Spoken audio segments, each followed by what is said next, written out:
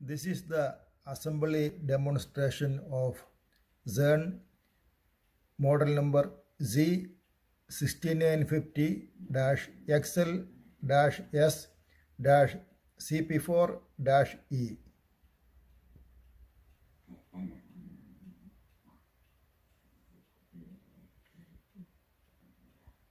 I am installing it with a no deck plate.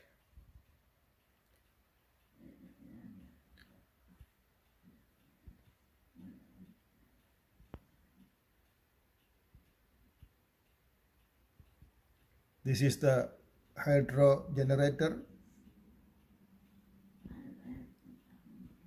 This is the electronics box, the solenoid.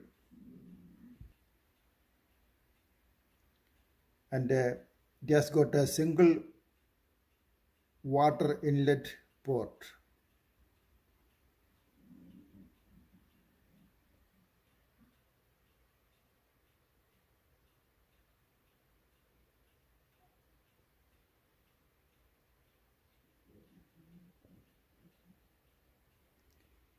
The single water inlet port can be hot or cold, but it cannot be too hot.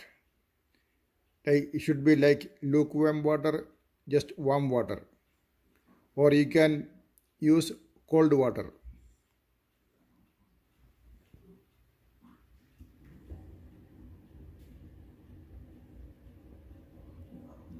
This is very easy setup. This hydro generator will charge the battery inside this box if you are installing lithium ion batteries. This is the battery box.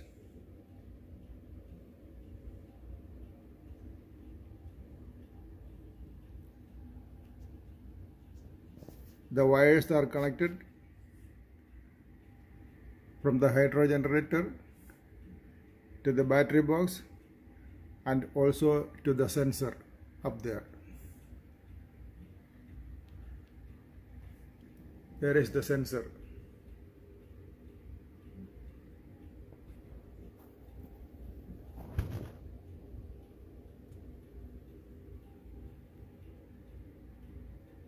So this is a demonstration for those of you